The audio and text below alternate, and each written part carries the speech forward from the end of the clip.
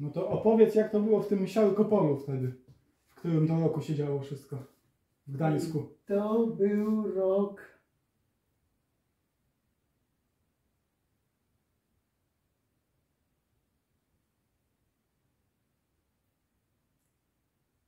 siedemdziesiąty.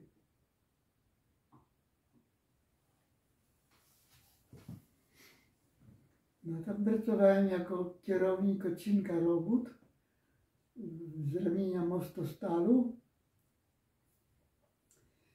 i inwestor, czyli Siarkopol,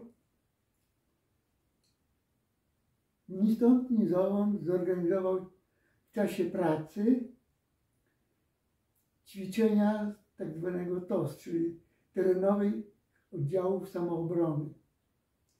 Tam się co jakiś czas takie ćwiczenia odbywały. No niby powiadomił wykonawców, a tych wykonawców na tej budowie było 20 z różnych, całej prawie Polski. Największym, czyli wykonawcą, który był wiodącym, to była Przemysłówka, Gdańskie Przedsiębiorstwo Budownictwa Przemysłowego, a jako, jako, jako inwestor, jako wykonawca główny, a my wszystkie, wszystkie inne pozostałe przedsiębiorstwa jako pod, podwykonawcy. Drugim pod względem wielkości był y, Montokwas z, kwas, z Katowic. Pod względem wielkości przerobu. A trzecim był świeżo powstały w Gdańsku Mostostal, który z, kierownictwa grupy robót w Gdańsku jako takie ma, taka grupa, jak gdyby oddział po, powstał z poznańskiego mostostalu. Zostało powołane nowe dyrekcje i powstał nowe, no, powstało nowe przedsiębiorstwo, dłużej, no i prężne nawet. No ja w tym mostostalu pracowałem. I jak powiedziałem, zorganizowane zostały te, te ćwiczenia tosowskie, a ja byłem umówiony z, z projektantem z Gliwic, który był głównym projektantem moich, moich zakładów, które ja budowałem. Były tam jakieś komplikacje z, z dostawami. Wiele miałem przeróbek tych dostaw, które produkował Zabrze, też na Śląsku, Mostostal Zabrze. No i poprosiłem go o konsultację. Miał przyjechać, bo uzgodnić ze mną. No i dostałem telefon od głównego kierownika Mostostalu, że projektant już przyjechał, czeka na mnie. No więc ja idę do bramy wyjściowej, a tu patrzę, jest szlaban. Zwróciłem się do dyżurki, żeby mnie przepuścili, bo idę na rozmowę z, z prowadzonym z Gliwic projektantem. Ja, bo są ćwiczenia. Ja mówię, ja jestem umówiony z projektantem, który przyjechał aż z Gliwic. Upierali się. No to ja nogę przez barierkę, bo nie, była niewysoka, przelazłem na drugą stronę. Wyskoczył dy, dyżurny socista, no i wciągnął mnie do dyżurki. Dowód osobisty. Nie, nie pokażę wam tego dowodu. Dowód jest mój. Pokazałem tylko legitymację, tą przepustkę. Ponieważ nie chciałem pokazać dowodu osobistego, ściągnęli policję, milicję wówczas.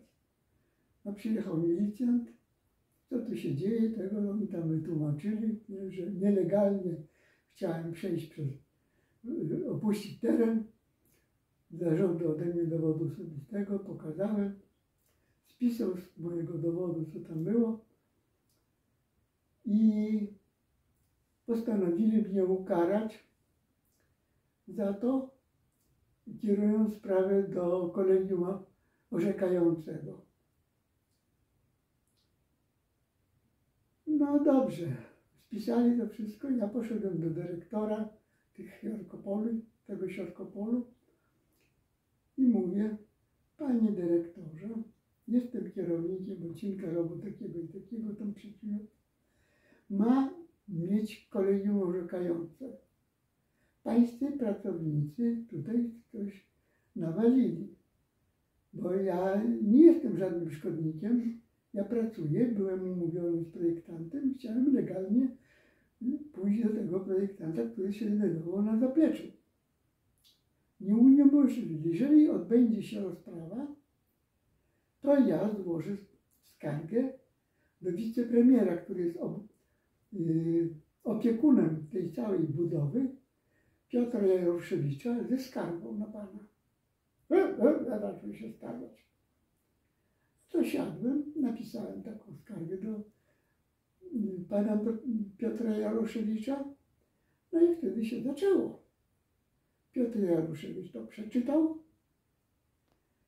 no i na jego polecenie przyjechało do, na tą budowę i do tego przedsiębiorstwa Siarkopo dwóch ministrów, minister przemysłu chemicznego i jeszcze jakiś i kupę dyrektorów y, z tych ministerstw.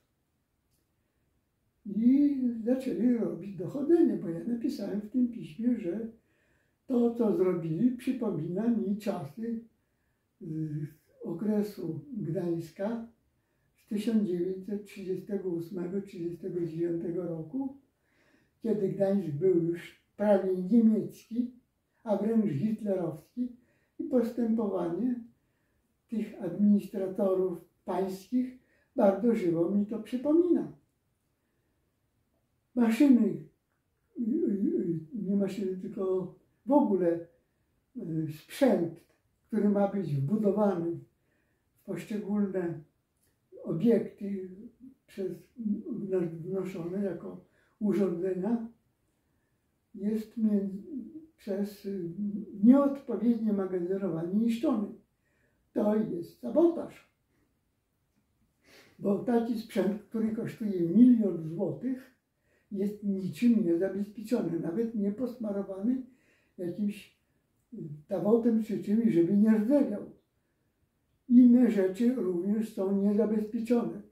Brakuje w, sil, w waszym magazynie 10 silników, które ja miałem zamontować w młynowni, której prowadziłem nadzór budowlany. Robotnicy moi powiedzieli, panie kierowniku, my nie mamy tych, nie możemy dostać tych silników, bo ich nie ma. Ktoś je wyniósł z zakładu pracy. To wszystko jest przestępstwo. Ja to wszystko napisałem w tym piśmie do Piotra Jaroszewicza. No i dochodzenie trwało aż tydzień cały.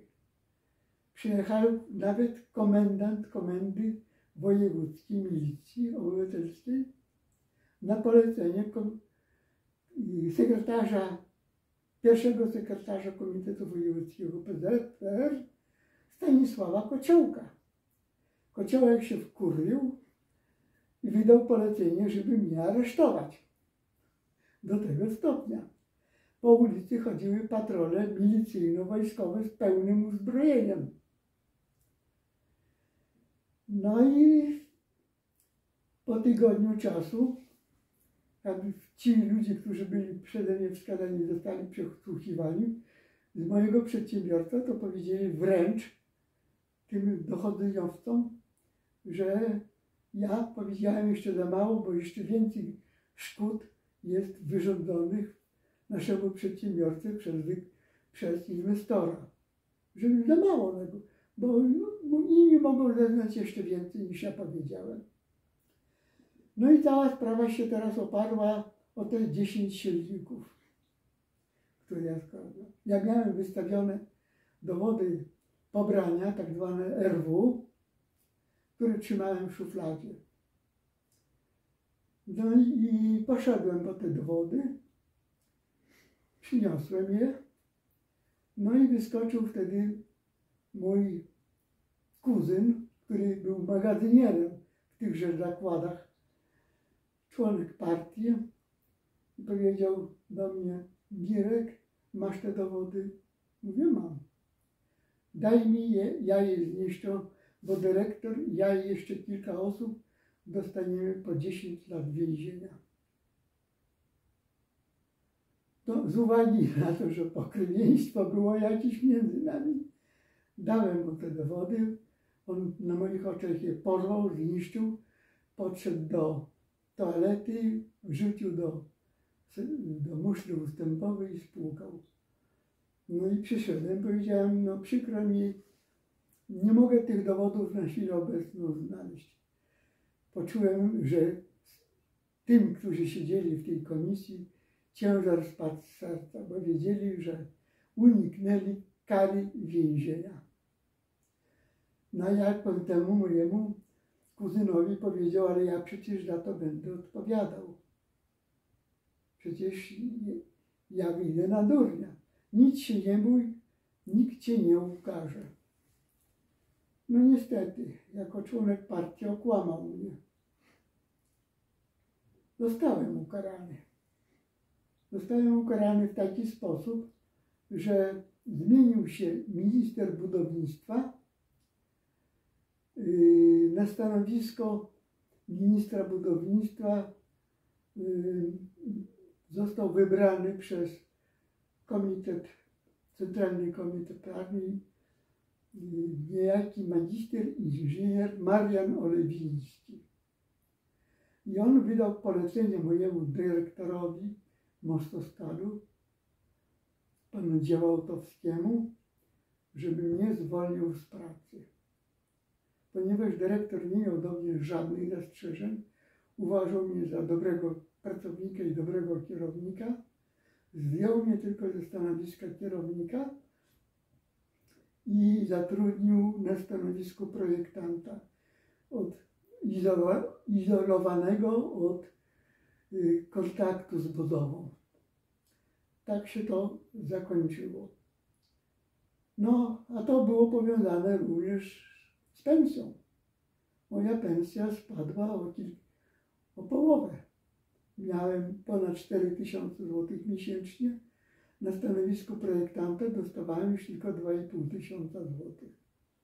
No, więc popracowałem kilka miesięcy, podziękowałem i przeszedłem do pracy w Wojskowym Rejonowym Zarządzie Kwaterunkowo-Budowlanym za 5 tysięcy złotych miesięcznie. No to jeszcze lepiej niż miałeś. Czyli wyszło na plus. wyszło na plus.